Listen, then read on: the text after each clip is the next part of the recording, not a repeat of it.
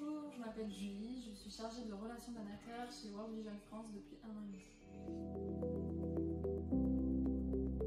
Dans le cadre de l'ouverture de notre programme de parrainage à Mouroun en Mongolie avec notre chargé de programme, on s'est rendu pendant deux semaines euh, pour rencontrer les équipes locales, les familles bénéficiaires et les autorités locales arrivé à Ulaanbaatar, la capitale de la Mongolie, et de là nous avons fait 13 heures de route pour arriver à Mouroun qui se situe à la frontière avec la Russie, donc au nord du pays. Euh, le climat là-bas est très rude, euh, les températures peuvent passer de moins 40 à 40 degrés dans l'année. Euh, ainsi on accompagne donc les familles face, à ce, face aux enjeux du changement climatique et on accompagne également donc, les familles pour protéger les enfants, on les accompagne également face à l'alcoolodépendance. Des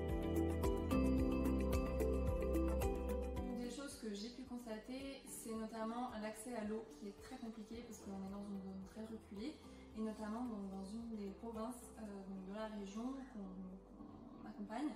Euh, les personnes n'ont pas du tout accès à l'eau potable et doivent faire plus d'une heure de route à chaque fois pour, accéder, pour avoir de l'eau.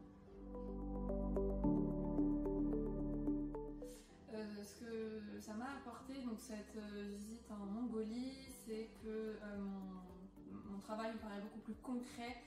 J'ai pu donc constater de mes propres yeux ce qui, se passe donc, dans, le programme de parrainage. J'ai pu donc rencontrer les équipes sur le terrain et ça me permet d'avoir une idée beaucoup plus claire de la réalité du terrain et des besoins.